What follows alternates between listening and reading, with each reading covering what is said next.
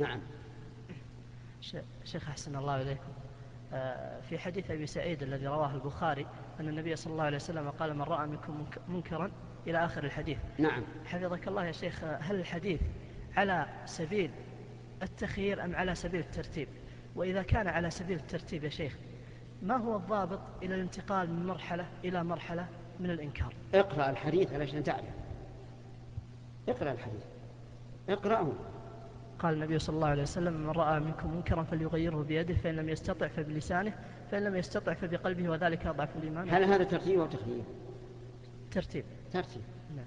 إذن هو على الترتيب. شيخ لأن البعض يظن يا شيخ أن, أن الإحراج الذي قد يتسبب له من إنكار المنكر كان ينكر على فتاة فتتكلم. لا شوف بارك الله فيك. إنكار المنكر غير تغييره. التغيير ما يكون إلا لذي سلطة. مثلا أنا أقول للشخص هذا غلط حرام منكر.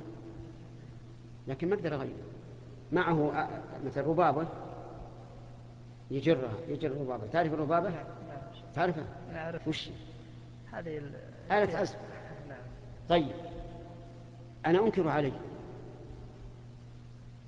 ولهذا لم يأتي الأمر بالمعروف والنهي عن المنكر مقيدا بالاستطاعة.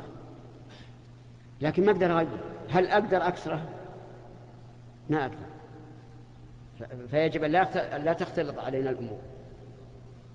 إنكار المنكر غير تغيير المنكر.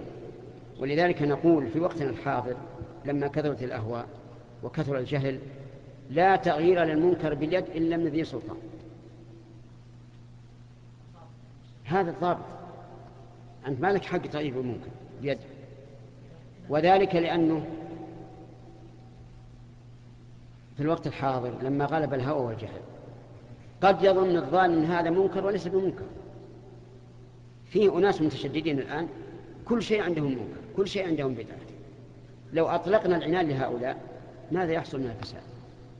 يحصل من الفساد ما لا يعلم, ما لا يعلم به إلا رب العباد.